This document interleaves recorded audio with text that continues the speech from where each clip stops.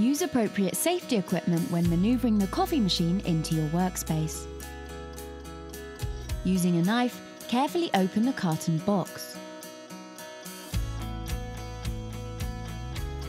Remove the polystyrene packaging. Inside the carton box, you will find the manual as well as the fitting components. Take a moment to read through the manual to make sure you fully understand the installation process. Remove the coffee machine, the two runners and other fitting components from the box and place onto the blanket. Measure the width of the niche in the column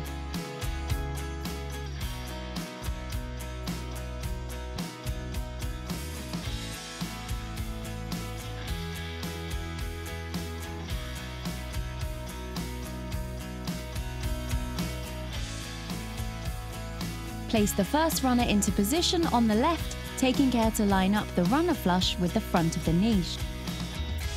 Screw into place using the screws provided.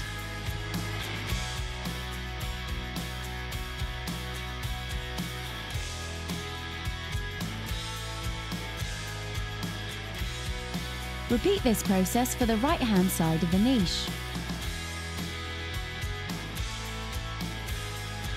Screw the cable guide into place on the right hand side of the inside of the niche. Pull the runners out so they are fully extended.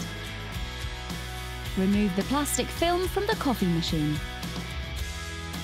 Lift the coffee machine and rest into position on the runners. Fix the coffee machine to the runners by screwing the four screws into place from underneath the machine.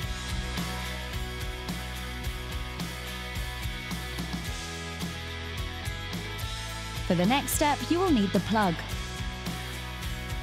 Plug into position at the back of the coffee machine. Move to the right and thread the cable into place through the cable guide. Once plugged in, turn on the main switch and fill the water and cafe compartments. Push the coffee machine into the niche.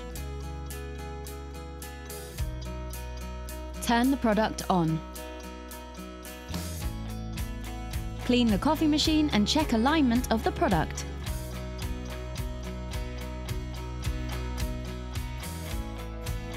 Your installation is now complete and ready for your customer.